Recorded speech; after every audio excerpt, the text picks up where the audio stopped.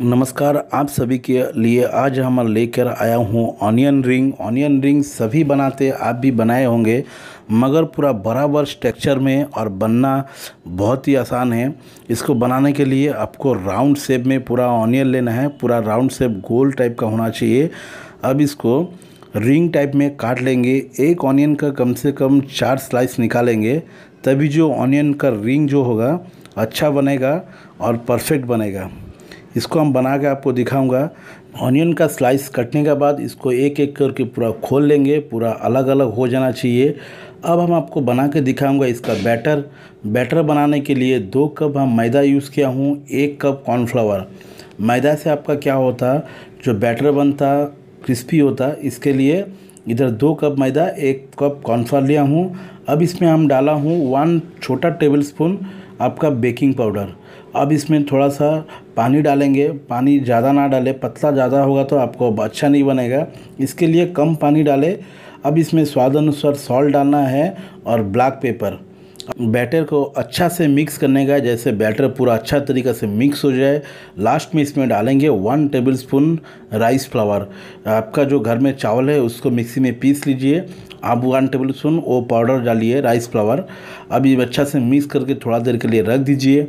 अब हम आपको फ्राई करना दिखाऊँगा। तेल थोड़ा मीडियम हीट होना चाहिए। अब जो बैटर में ऑनियन रिंग को डाल देना है ये फ्राई में जो है आपका परफेक्ट फ्राई होना चाहिए, तब ऑनियन रिंग आपको देखने के लिए अच्छा लगेगा और सेप भी बहुत ही अच्छा आएगा। इसके लिए बैटर में ऑनियन जो रिंग है, इसको पूरा अच्छे तरीक़े से डुबा लेना है।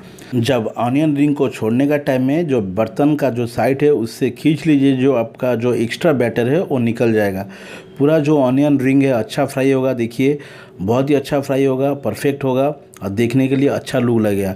आप ऐसे ही फ्राई करें, तब आपका ऑनियन रिंग जो है पूरा अच्छा बनेगा, और रिंग शेप में पूरा बनेगा, पूरा परफेक्ट बनेगा। फिर भी हम आपको दो चार फ्राई करके और भी आपको दिखाऊँगा। ये देखिए फ्राई करने का तरीका, ऐसे ही बैटर में डुबाइए, और जो बर्तन का साइड है, वहाँ से ऐसे खींच लीजिए।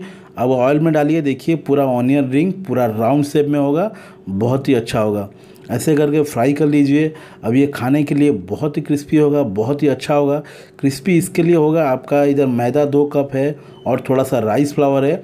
इसके लिए ये क्रिस्पी होगा। आप फ्राई करके कम से कम बहुत टाइम तक रखिए, आधा घंटा, एक घंटा तक वैसे ही क्रिस्पी रहेगा और कड़क रहेगा और खाने के लिए बहुत ही अच्छा लगेगा। ये देख सक रहे होंगे ऑनियन रिंग कितना अच्छा फ्राई हुआ।